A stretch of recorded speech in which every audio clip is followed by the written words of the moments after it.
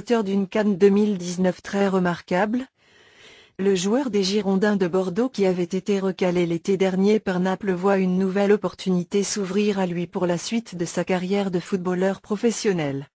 Youssouf Sabali serait suivi de près par des clubs de Première Ligue, parmi lesquels Watford et Newcastle selon France Football.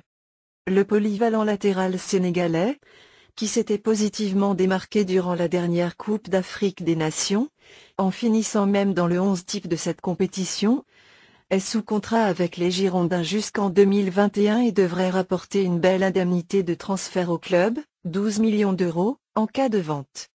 Pour rappel, le mercato anglais ferme ce jeudi à minuit. Peut-être enfin le déclic côté départ. Pour pouvoir enfin s'activer côté arrivée